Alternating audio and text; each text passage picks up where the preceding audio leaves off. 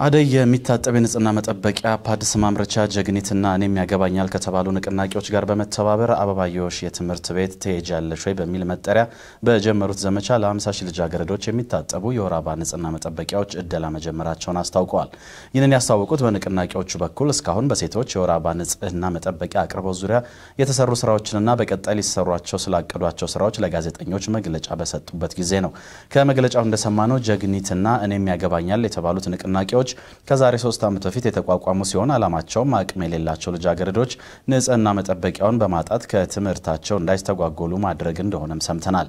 እስካሁን በመላው ኢትዮጵያ ለሚገኙ ተማሪዎች 35 ሺህ የሚታጠቡ ሞዴሶችን በበጎ ፈቃደኛ ግለሰቦች አማካኝነት መታደሉን ትላንት በተሰጠው መግለጫ ላይ ተጠቅሷል። የጀግኒት ንቅናቄ አምባሳደር አርቲስት ጸደኒያ ገብረ ማርቆስ ሴቶች በወር አበባ ንጽህና መጠበቂያ እጦት ምክንያት ከትምህርታቸው እንዳይስተጓጎሉ መንግስትን ጨምሮ የሚመለከታቸው ተቋማት ትኩረት ሰጥተው እንዲሰሩም ጠይቃለች።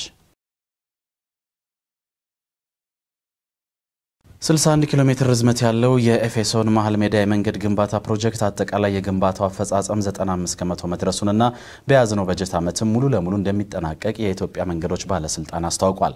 ለግንባታ ስራው የተመደበው 1 ቢሊዮን 352 ሚሊዮን ብር የተሸፈነው በኢትዮጵያ መንግስት እንደሆነ የተነገረው የኤፌሶን መሀል ሜዳ የመንገድ ግንባታ ፕሮጀክት በስፋት የአፈር ጥንካሬን መጨመር የሚያስችል ቴክኖሎጂን በመጠቀም ግንባታው እየተከናወነና ይህም የመሬት መንሸራተትን በከፍተኛ ሁኔታ ለመከላከል ለመከላከል የሚያግዝ የግንባታ ሂደት መሆኑም ተገልጿል።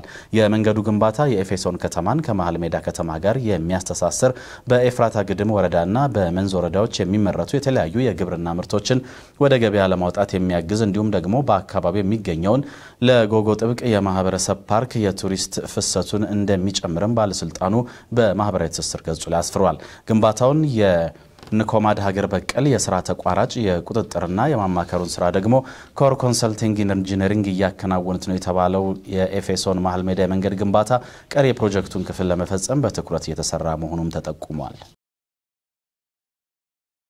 ባለፉት ሶስት ወራት ከቡና ሻይና የቅመማ ቅመም ምርቶች ውጭ ንግድ 333.50 ሚሊዮን የአሜሪካን ዶላር ገቢ መገኘቱ ተገልጿል።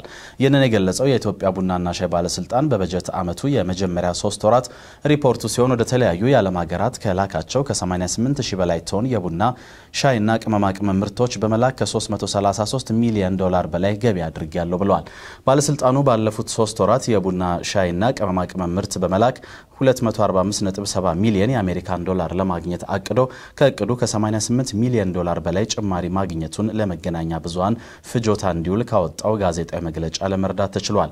ዋና ዋና ወደሚባሉት አስር መዳረሻ ሀገራት በሚላከው የቡናና ሻይ እንዲሁም ደግሞ የቅመማ ቅመም ምርት ከ2013 አፈጻጸም ጋር ሲወዳደር በመጠን 74 በመቶ በገቢ ደግሞ 88 በመቶ ጭማሪ እንዳሳየም ተቋሙ ገልጿል።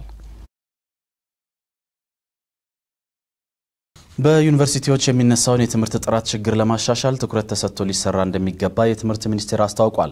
ይህ የተነገረው የትምህርት ሚኒስቴሩ ፕሮፌሰር ብርሃኑ ነጋ ከከፍተኛ ትምህርት አመራሮች ጋር ውይይት ባካሄዱበት ጊዜ ሲሆን የከፍተኛ ትምህርት ተቋማትንና የትምህርት አሰጣጥ ሂደቱን ለማዘመን መንግስት ትኩረት እንደሚሰጥ ገልጸዋል። በዩኒቨርሲቲዎች የአስተዳደርና የመሰረተ ልማት ችግሮች እንደሚስተዋሉ ያነሱት ሚኒስትሩ አብዛኛዎቹ ዩኒቨርሲቲዎች ከትምህርት ጥራት ጋር በተያያዘ የሚነሳባቸውን ጥያቄዎች ለመመለስ እንዲችሉ ያሉባቸውን ክፍተቶች በአፋጣኝ ለይተው የመፍትሄ እርምጃዎችን እንዲወስዱም ሚኒስቴሩ መመሪያ መስጠታቸውን ከትምህርት ሚኒስቴር የማህበራዊ ትስስር ገጽ ላይ ያገኘነው መረጃ ይጠቁማል።